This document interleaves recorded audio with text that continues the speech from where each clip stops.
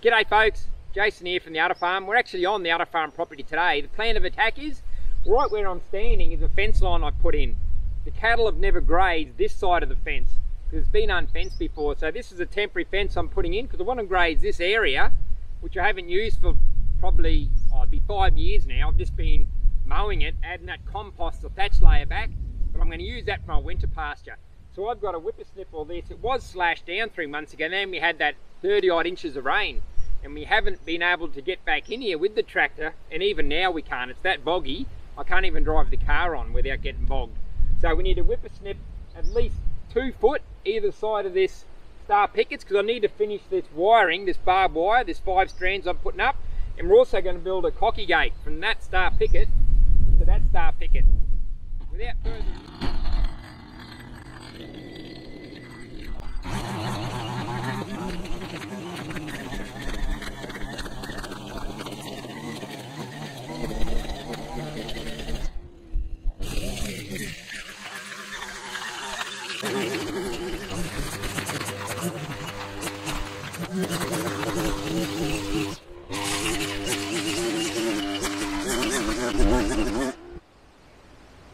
finally finished all that clearing now off that fence line. It's about two foot where I whip snipped.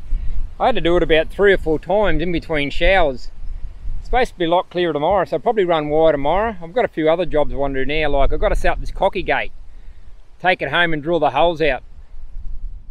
Basically what I've got to do is mark where these wires are, then I'll drill an inch hole, because that's to feed the wires to go through to form that cocky gate.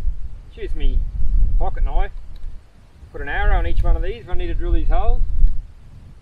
When I get home, I'll put it on the drill press. It's going to be a load easier to do. That one there, and one more wire to run at the top. I know that one's at the top.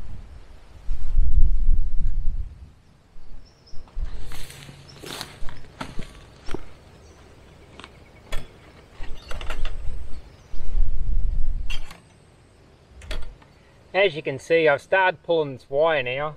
I was up bright and early this morning. I've already run two wires. It's going to film it. But it just rained all morning off and on off and on. I had to get the camera back in the car. It's taken longer than, than it really should. The amount of rain we've had we had 68 mil which is just over what's that about two and a half inches? The day before yesterday and this morning we've had 20 so far. The ground is actually saturated. So I've got to be careful how much strain I put on this because it's only a temporary fence.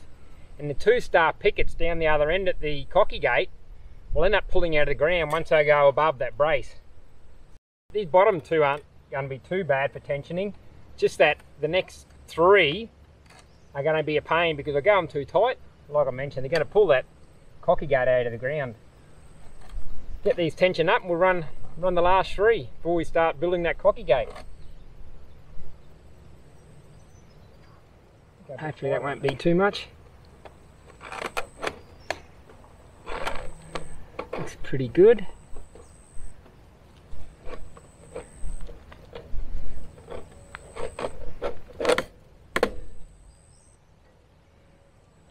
Next, that's the next three I won't be to do like that. It'll definitely pull those star pickets out of the ground. Always give it three tight turns. So Oh, it's two. Should have done one more. That's it. Then I'll just thread the rest.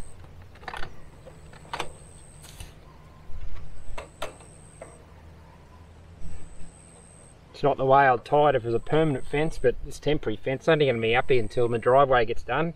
Then I can throw those four foot timers down the driveway and this will come up and the cows will graze right back to that driveway. Hope I'm hoping to get the driveway in before start of spring, towards the end of winter, depending on this rain. If the rain keeps going, won't be to get machinery in here. I can't even drive the four-wheel drive off that track, and even I'm going down the driveway, I need it in four-wheel drive because uh, it's that boggy. The tyres just keep spinning. And then we'll go wire that up and we'll run the other three.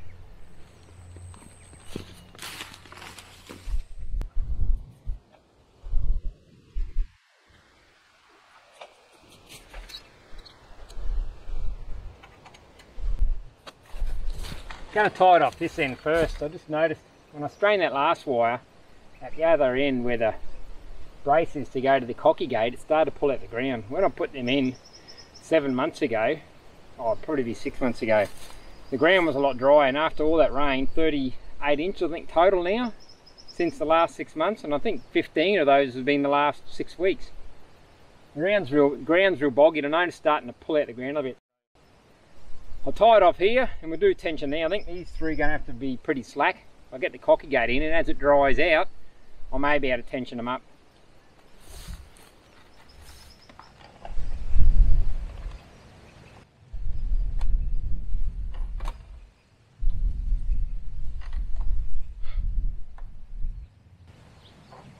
Right, right here is where I'm talking about. See how that's leaning back in? Because I tension that third wire or second wire down, starting to pull out of the ground. So be careful with this one.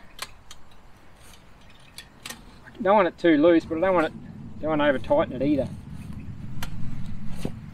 I'd sooner deal with it slack and then deal with it later when the ground dries out. Uh, how many holes am I going on that one? One, two, three. One, two, three.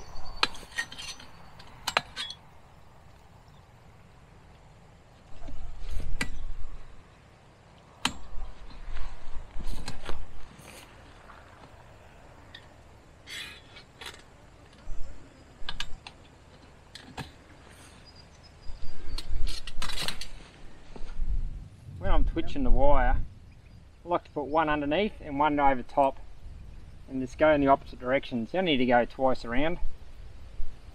Just make sure that your eyes or your points of your wire are facing down. You don't want the livestock coming through and poking their eyes. Yep, that's fairly loose, but once this ground dries out and get the cocky gate on, I'll have a look then. Probably need to readjust it today, but this job is just dragging out because of the rain. Every time I pull out the camera, seems to rain. I was sitting here having lunch, like this now, hardly a cloud in the sky. Finished lunch, pulled out the camera, started to drizzle. Unbelievable. So what I'm going to do now is set up that end post for the cocky gate. So that's the post there. I've marked it out against the barbed wire fence where I wanted it.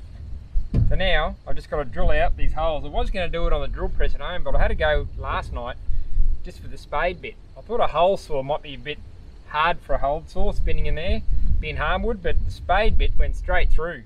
So we'll continue down. I've got another four more holes to drill and we'll drill them out.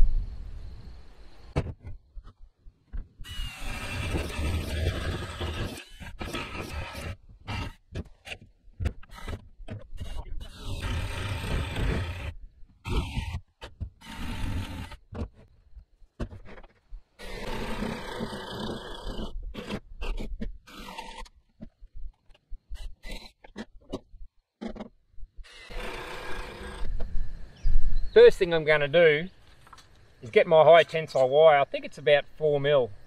Not sure what that is. Is Imperial. What's that about an eighth? Not sure, but uh, yeah, it's about 4 mil thick. What that does, that goes down the bottom. This handle then goes up here and locks in here. So I'll also set that up with some chain. So you need this leg on the bottom. What that does is when you put your cocky gate back in to position, it sits behind that wire and locks that bottom section in. And when you get your lock up the top, and you get your chain on and you wedge that back in the position, it puts tension there and stops that bottom leg kicking out. So we'll get that wired up and then we'll put the chain on.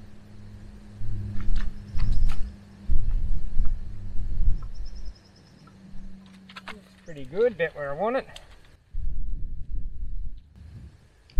No time, that'll make its own shape once you start using it.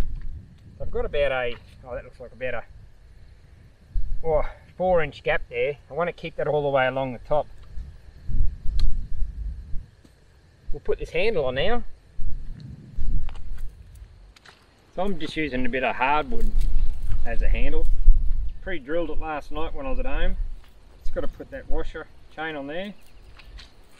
Every time you put something down, I don't know if you can hear the squelching under my feet, but it's just like I'm mud here now. The water's coming to the surface and dirt's coming through. Every time you put a tool, a tool down or your utensil, get covered in mud. Haven't been walking on that much. Imagine cattle and livestock walking through here constantly over these paddocks. I just went through the paddock before there before to have a look. Now, the amount of pugging that's in these paddocks now, because the rain we had over the last six months, is unbelievable. Right, the lock position, it's going to be about there. It's Going to lock in there and chain off there. So the chain I need, the length I need to chain, bring him out. If I leave a couple spare, cut him off at there and I should be right. Yep. That's about describes my day today. I'm surprised it hasn't started raining again now I've got this video camera going. Tell you what, I couldn't have got a bolt that was any tighter. Just went through. That would be embarrassing. Righto, that's on. Tighten that up.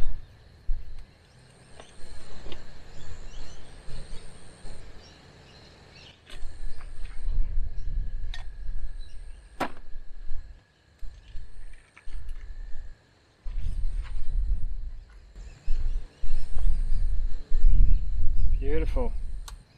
Got to get some wire on now.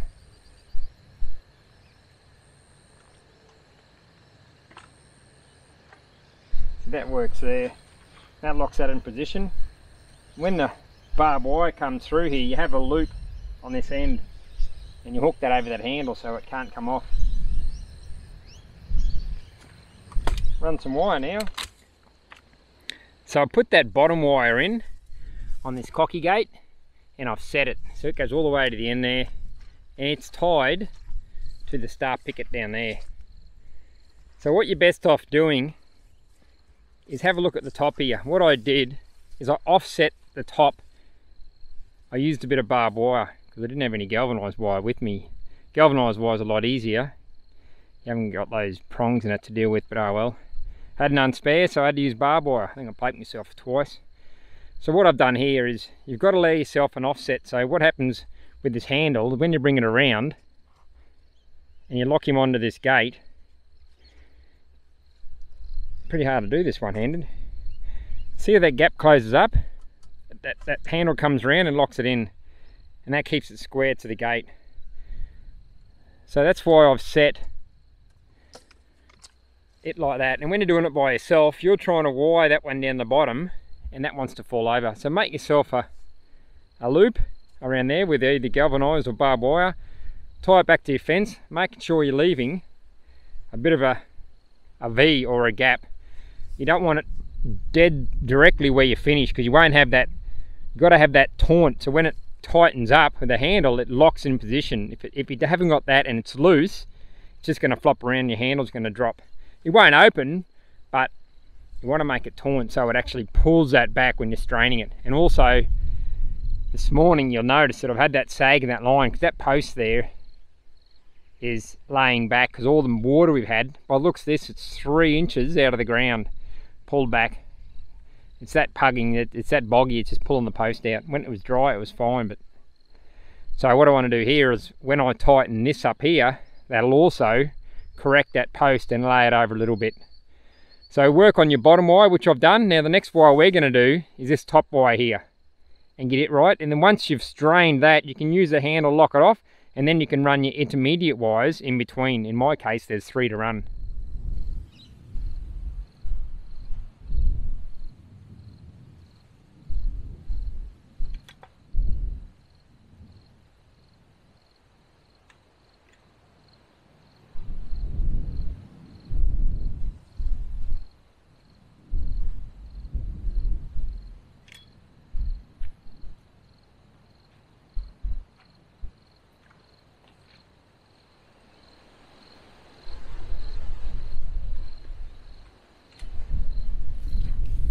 Now we got that tied off the other end, we'll see if we need any fine tuning. We'll try and lock this gate now and see if we can get a bit of sag in that line, but like I said, it's got to come back about four inches. Down the other end, when you're tying this top wire off, make just go around three tight loops. Don't wind the rest of the wire on, You're probably find you need to do a bit of a tweaking. If you've got it too tight, you won't be able to open that and just back off those three loops, those three um, turns around the wire and just feed yourself back a bit more wire onto here. When I done my first cocky gate, it probably took me two to three adjustments to get it right the first time. Sorry, not to get it right, but to get it right three times before I, I over tensioned the wire the first time. So you can see this one's got a bit of sag. Probably can't see it there from the camera, the angle, but there's a fair bit of sag there and you do need a bit. So you line your timber up. I'm going to make mine above that hole because I need to wire that one. That should just go round. Locks it in position. Well, that's perfect. Bottom one's tight. Top one's tight. And that's where the other one's going to lock off and that wire. So for now, at least the rain's on cue again. Just turn the camera on, bang. So I'll sit that there. What I'll do now is I'll go through and I'll put the other three wires through this gate and then we'll come back and have a look. Hopefully stopped raining.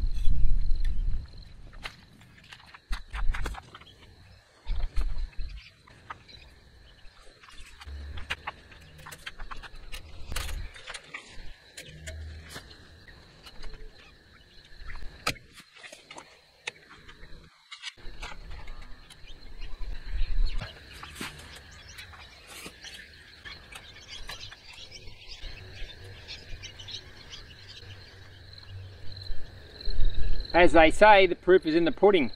We remove this loop now and we'll open this cocky gate up.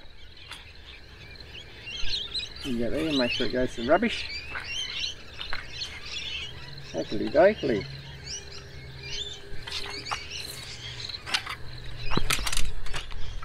Take the cocky gate out.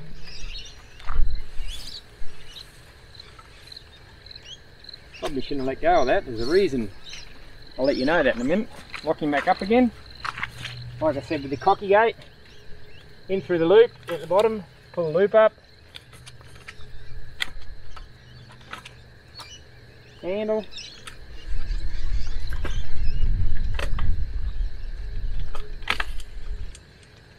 Lock him back in position. What I need to now is make up a loop to go on here. If you go back to the cocky gate video, I'll show you how to close it and the reason why you go over and then you're underneath. The only thing left to do here now is you notice yesterday I opened that gate and I said I probably shouldn't have done that because this just come off a, a spool, like a tight spool, this barbed wire. And when I undid it, it started to coil itself. Luckily, because I've got five strands, it would have tangled upon itself and then, especially by yourself, trying to untangle five strands of barbed wire on a cocky gate and try and, and stand it back up it's not impossible, but it, it takes quite some time. It does, this wire will eventually, with the heat, straighten itself out, but that's still not the issue. When you drag the cocky, cocky gate open in through the grass and lay down, there's still a chance of entanglement of those wires, and it's a pain trying to get them untangled and stand it back up. Just about all cocky gates, or good cocky gates you see, they should have spreader bars amongst the wire. So I'm just using an inch poly pipe here for my spreaded bars, but you can use steel pipe, you can use timber. This what I had poly pipe lying around. For a gate this size, I think this spans four foot, four and a half foot, so I can drive tractors and that through it. Four and a half foot, I think converts around to, what's that, three by four, 12, roughly 14 foot wide. So this is four and a half meters. You should have two spreader bars on this gate. So what a spreader bar does, there's two reasons you want a spreader bar. The first reason is, generally when you strain a barbed wire fence, your fence itself is going to be a lot tighter or taunter than your cocky gate. Your cocky gate, you've got to have a bit of give, a bit of play, so when you stand it back up, it straightens up. And you're generally not going to get that as tensioned or as your, as your fence itself, because your fence, remember, has generally got strainers on it, or you can tighten them up. Your cocky gate hasn't. So, two reasons. One reason is you don't want the, the cattle when that's been grazed and this is greener outside, you don't want your cattle putting their head in there because they've got a tendency to step through it. They can just step through that, keep going, keep grazing. So what a spreader bar does is you wire it to the gate so they can't pull that wire apart. The second purpose of a spreader bar, especially in a cocky gate, is like I just mentioned. When you go to open that gate up, these wires are just going to collapse on one another. By having spread a bar in there, it doesn't allow the wire to collapse. So you can drag it, lay it down on the grass, and you're still going to keep that distance apart. So what I'll do is we'll head up and we'll drill these holes out and we'll come and connect this to the gate. We'll go through now and mark where I need these holes drilled. Then we'll head over and drill them.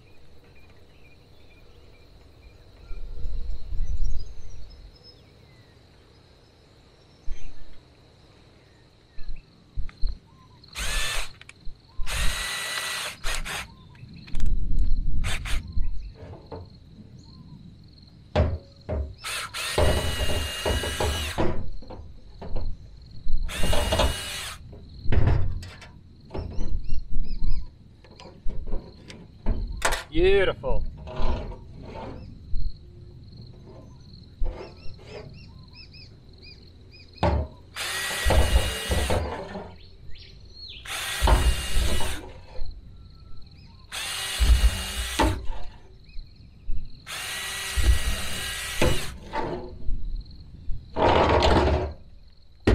We'll head back over, we'll them up.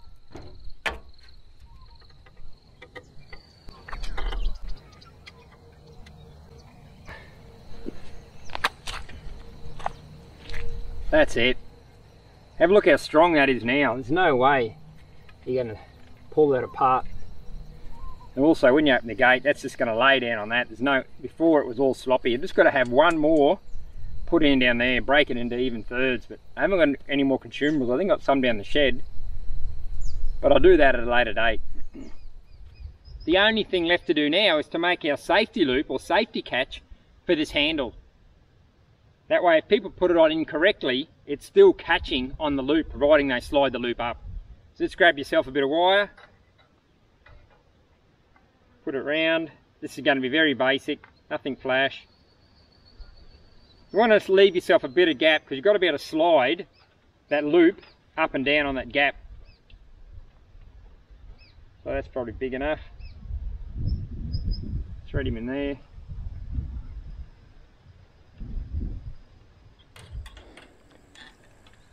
I just finished this knot off by bending, I've cut off those loose ends, just bend those loose ends down so whoever is opening the gate won't poke themselves on those ends. So that's it, all finished. As you can see, simple knot, I just done a double granny, three twists at the top, gives you sort of a bit of a handle to hold on to. Rather than just have the twists and it's poking your hand, you've got a bit of bulk there to play with that handle and slide him up and down.